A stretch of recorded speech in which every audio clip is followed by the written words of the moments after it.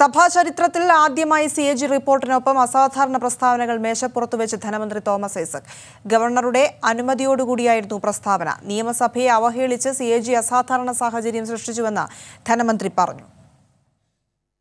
കേരള നിയമസഭയുടെ ചരിത്രത്തിൽ ആദ്യമായാണ് സി എ ജി റിപ്പോർട്ടിനൊപ്പം ധനമന്ത്രിയുടെ പ്രസ്താവന കൂടി സഭയുടെ മേശപ്പുറത്തു വെച്ചത്.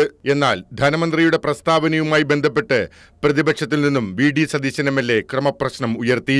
ഇന്ന് ഈ റിപ്പോർട്ട് വയ്ക്കുമ്പോൾ ഇതോടൊപ്പം ധനകാര്യമന്ത്രിയുടെ സ്റ്റേറ്റ്മെന്റ് വയ്ക്കുന്നതും ഓർഡറിലാണോ എന്നാണ് സർ ഞാൻ ഈ ത്രീ നോട്ട് ത്രീയിലൂടെ ഉന്നയിക്കുന്നത്.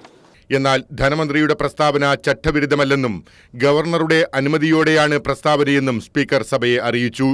ധനകാര്യ വകുപ്പ് മന്ത്രിയുടെ ഒരു ഒബ്സർവേഷൻസോടു കൂടിയാണ് ഇന്ന് സി എൻ ഡി ജിയുടെ റിപ്പോർട്ട് വയ്ക്കുന്നത് അത് ഗവർണറുടെ അനുമതിയോടുകൂടി ഗവർണർ രേഖാമൂലം അനുമതി നൽകിയതിന്റെ കൂടി അടിസ്ഥാനത്തിലാണ്.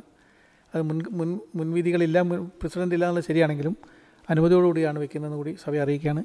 സി എ ജിയുടെ ഭാഗത്തു നിന്നും അസാധാരണ നീക്കം ഉണ്ടായെന്ന് ധനമന്ത്രി തോമസ് ഐസക് പറഞ്ഞു നിയമസഭയെ തന്നെ അവഹേളിക്കുന്ന നടപടിയാണ് സി ആൻഡ് ജിയുടെ ഭാഗത്തു നിന്നും ഉണ്ടായത്. ഇത് സഭാംഗങ്ങളെ അറിയിക്കാനാണ് താൻ റിപ്പോർട്ടിനൊപ്പം പ്രസ്താവന കൂടി ഉൾപ്പെടുത്തിയതെന്നും ധനമന്ത്രി വ്യക്തമാക്കി.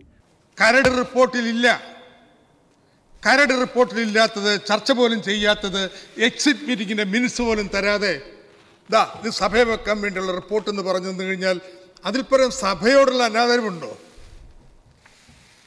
അപ്പൊ ഈ പ്രസിഡന്റ് ഇനി ഉണ്ടാവരുത്. ഇങ്ങനെയല്ല സംസ്ഥാന സർക്കാരിനോട് പെരുമാറേണ്ടത്. കേന്ദ്രം ഭരിക്കുന്ന ആർക്കെങ്കിലും എന്തെങ്കിലും ചെയ്യണമെന്ന് തോന്നിക്കഴിഞ്ഞിട്ടുണ്ടെങ്കിൽ സർക്കാർ ചർച്ച ചെയ്യാതെ റിപ്പോർട്ട് ചേർത്ത് വെക്കാം. എന്നിട്ട് സഭയിൽ വെക്കാനും.